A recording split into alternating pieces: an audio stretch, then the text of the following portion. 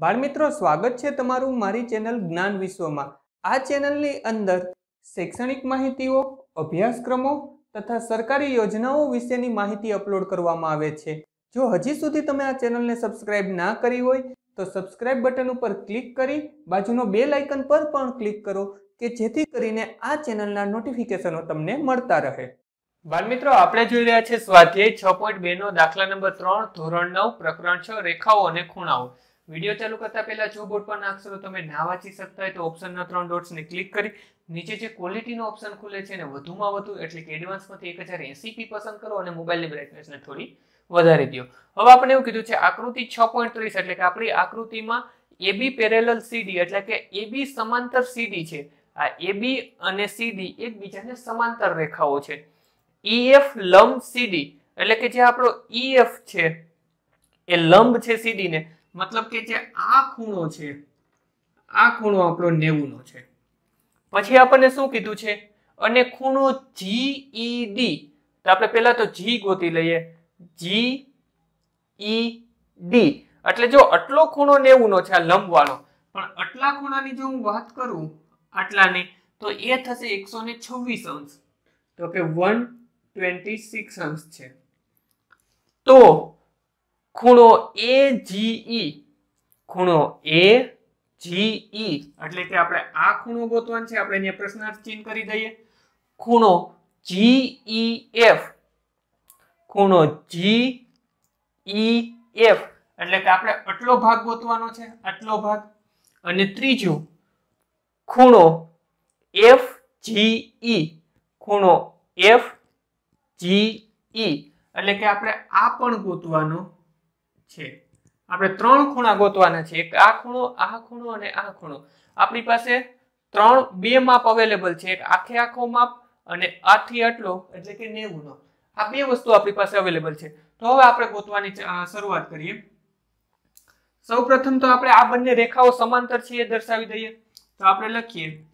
AB સમાંતર છે CD તથા GE છેદિકા છે. GE છેદિકા છે હવે જુઓ, તમે આ ખાસ આને આપણે છેદિકા તરીકે કલ્પના કરો, તો આ આ Z બનતો તમને દેખાશે. આ જે છે, અહીંયાથી આમાં Z બનતો દેખાશે. Z એટલે આપણને ખ્યાલ છે અંતઃયુગ્મ કોણ. અને અંતઃયુગ્મ કોણ હોય તેના માપ સરખા હોય. મતલબ કે આપણે આ પ્રશ્નાર્થ કરેલો માપ અને આ માપ, આ બંને સરખા છે. ફરી એકવાર, આ બંને સમાંતર છે. આ જેની છેદિકા છે, તો આ Z બનતો તમને જે દેખાય છે એટલે કે આ ખૂણો આવશે અને બીજો આ ખૂણો Z માં. તો આપણે લખીએ, પહેલા તો ખૂણાનું નામ લખીએ. ખૂણો A, G E. ખૂણો A, G E. બરાબર છે. કયો ખૂણો? તો કે ખૂણો G E D. ખૂણો G E D. શરત લખી નાખીએ. અંતઃ યુગ્મ કોણ બંને અંતઃયુગ્મ કોણ છે? અંતઃયુગ્મ કોણ છે? તો આ બંનેના માપ સરખા થાય. આપણને આમાંથી એક માપ આપી દીધું છે, ખૂણો જીઈડી નું માપ આપણને ઓલરેડી રકમમાં આપી દીધું છે 126 તો જીઈડી જો 126 હોય, તો AGE પણ કેટલો થઈ જાય? તો કે 126 તો તેથી લખી નાખીએ, ખૂણો એજીઈ બરાબર 126 અંશ. આપણને આપણું એક માપ મળી ગયું. અહીંયા જે પ્રશ્ન હતો ને હું જવાબ લખી દઉં છું 126 અંશ. એક જવાબ આપણને મળી ગયો. હવે આપણે શું કરીએ? હવે આપણે આ ખૂણો ગોતીએ. એ ખૂણો ગોતવા માટે તમે જુઓ, આ આખો ખૂણાની કલ્પના કરો. અહીંયાથી હું જે લાઈન દોરું છું, એની કલ્પના કરો. આ આખે આખો ખૂણો છે.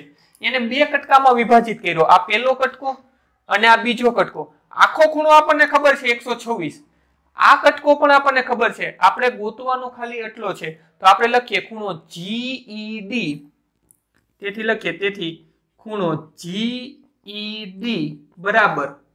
આ જીઈડી બરાબર શું થશે? ખૂણો જીઈએફ આખે આખો આ જીઈડી છે, એના બે કટકા, એક જીઈએફ અને એફઈડી તો આનો થશે ખૂણો જીઈએફ એને વત્તા બીજો ખૂણો થશે એફઈડી ખૂણો એફઈડી આ કઈ શરત થશે? તો કે જો બંનેના ઉદ્ગમ બિંદુ સરખા છે.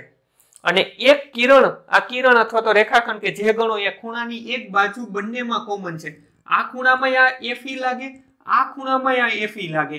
અને જ્યારે આપણે એક ઉદ્ગમ બિંદુ હોય અને આ રીતનું એક કિરણ વચ્ચેનું કોમન હોય, તો એને આપણે આસન કોણ કહીએ છીએ? તો અહીંયા કઈ શરત લાગશે? તો આપણે અહીં શરત લખી નાખીએ. આસન કોણ? તો આપણને જીઈડી ખબર છે. જીઈડી ખબર છે? આખો એકસો ને છવ્વીસ. તો આપણે લખીએ તેથી એકસો છવ્વીસ બરાબર ખૂણો જીઈએફ જીઈએફ ખબર નથી ગોતવાનો છે, તો આપણે એમ જ લખી નાખીએ. ખૂણો જીઈએફ વત્તા ખૂણો એફઈડી એફઈડી હવે એફઈડી કે માપ નથી આપ્યું. પણ અહીંયા જો તમને ઓલરેડી લંબની શરત આપી દીધી ઈએફ લંબ સીડી તો લંબ છે મતલબ ખબર છે? કાટખૂણો અથવા તો 90 નો તો અહીંયા આપણે એનું માપ 90 અંશ લખી શકીએ. જીઈએફ ને આપણે સૂત્રનો કરતા બનાવીએ. ખૂણો જીઈએફ બરાબર 126 ઓછા 90 તો તેથી ખૂણો જીઈએફ બરાબર 126 માંથી 90 અંશ તમે કાઢો, તો જવાબ આવે 36 અંશ. તો આપણને આપણો બીજો જવાબ પણ મળી ગયો. આ ખૂણો જે આપણે ગોતવાનો હતો એ આપણને મળી ગયો 36 અંશ. આપણે જીઈએફ ગોતી દીધો. જીઈએફ આપણે એજીઈ પણ ગોતી લીધો. હવે આપણે વાત કરીએ ખૂણો એફજીઈ ની. તો એફની આ જે પ્રશ્નાર્થ છે, તો હું અહીંયા લખી શકું? ખૂણો એ જી ઈ એટલે આ ખૂણો એ જી ઈ વત્તા ખૂણો એફ જી ઈ બરાબર એકસો ને એસી. શું કર્યું મેં? આ એ જી ઈ એને વત્તા એફ જી ઈ બરાબર એકસો એસી અંશ મેં કરી દીધા. શા માટે? તો જો આ બંને ખૂણાઓ એક જ રેખા ઉપર આવેલા છે. આડી રેખા ઉપર બંને ખૂણાઓ છે. અને તમને ખ્યાલ છે કે રેખિક જોડના ખૂણાઓ હોય તેનો સરવાળો એકસો થાય. તો આ ખૂણો અને આ ખૂણો બે ભેગા કરી દઉં તેનો સરવાળો એકસો થાય કારણ કે એક જ જોડ ઉપર છે. અહીં આપણે એની શરત પણ લખી નાખીએ. રેખિક જોડ. તો તેથી એજીઈ આપણી પાસે છે, એકસો ને છવ્વીસ અંશ વત્તા ખૂણો F G E F G E એ તો આપણે ગોતવાનો છે પ્રશ્નાર્થ છે, તો લખી નાખીએ એફ જીઈ બરાબર એકસો ને એસી અંશ. તો તેથી આપણે ખૂણો એફજીઈ ને સૂત્રનો કરતા બનાવીએ. ખૂણો એફ જીઈ બરાબર એકસો એસી ઓછા એકસો ને છવ્વીસ. તો એકસો એસી માંથી આપણે એકસો છવ્વીસ કાઢીએ, તો આપણને જવાબ મળે ચોપન અંશ. તો આપણે ખૂણો એફ જી ઈ આપણને કેટલો મળ્યો? તો કે ચોપન અંશ. વિડીયોને પોઝ કરી. ત્રણે ત્રણ ખૂણા જે આપણે ગોઈતા એ તમારી નોંધપોથીમાં ઉતારી લ્યો. ત્યાર પછી વીડિયો ચાલુ રહેવા દેજો. કારણ કે છ પોઈન્ટ બેનો ચોથો દાખલો એક ફોટોની લિંક સ્વરૂપે આપીશ ટચ કરશો એટલે જોઈ શકાશે. અને જો ના આવે, તો જ્યારે શૂટિંગ કમ્પ્લીટ થશે ત્યારે અપડેટ કરી દઈશ. બાળ મિત્રો, વીડિયો જોવા માટે ખૂબ ખૂબ આભાર. આ વિડીયોને લાઈક કરો. જો હજી તમારા મિત્રો સાથે આને શેર ના કર્યો હોય તો આ વિડીયોને શેર કરજો.